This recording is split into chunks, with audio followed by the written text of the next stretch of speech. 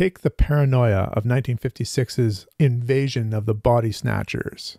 Add the weirdness of the horror film Rubber. Mix with the story of a newspaper man and conclude with an ending reminiscent of 1953's War of the Worlds. And you have They Walked Like Men by Clifford D. Simak, 1962. I'm going to put the cover on the screen, and I want to appreciate Richard Powers' art.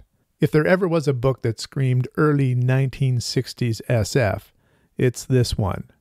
The surreal artwork and the font for They Walked Like Men. Even the name itself screams 1950s science fiction movies. And look at that back cover. We'll talk a little bit about those aliens that are depicted. Money was worthless, it had no value. It couldn't buy a home, clothes, food. Someone with enormous quantities of cash was buying houses and tearing them down, buying stores and closing them. A few people could have stopped the transaction before it was too late. They could have said that Earth was being taken over by alien beings in the shapes of bowling balls, talking dogs, dolls that walked like men. In fact, they did say it. The trouble was, no one believed them. The setting is similar to many of the settings you would find in a Twilight Zone episode from the 1960s. This is urban America, and the story follows a protagonist who is a newspaper man.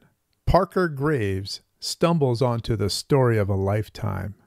He discovers that there's aliens among us, and they are trying to buy up all property on Earth. It is a silent, hidden invasion preying on our capitalism.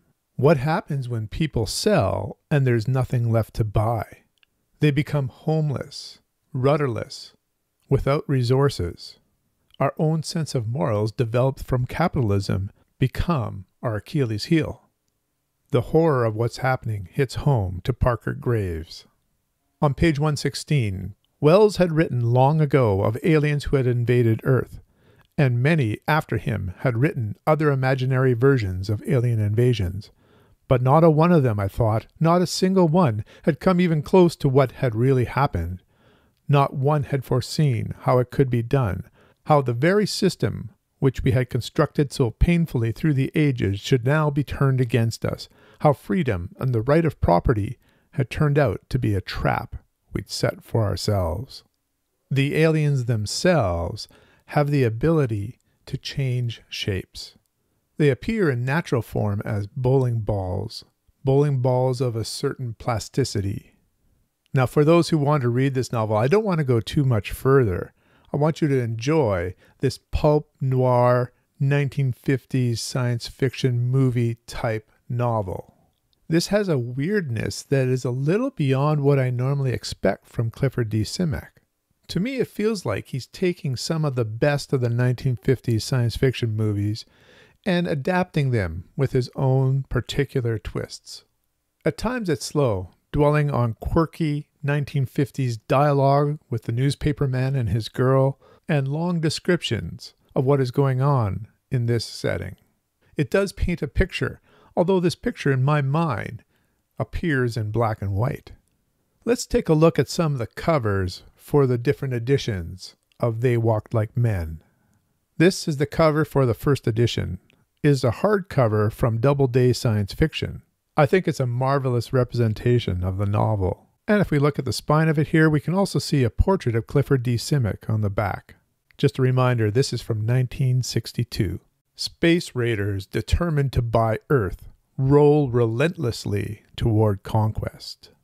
Delightfully weird and devilishly clever, this is cosmic noir at its finest. And here we can see a very stylized version of the bowling ball aliens approaching a house. The novel itself has a bit of an ambiguous ending. It asks if society is more important than capitalism. I give They Walk Like Men 7 out of 10. It's a novel of its time but asking some interesting questions. Have you read They Walked Like Men? What are your thoughts? Let me know in the comments below. Until next time, keep reading.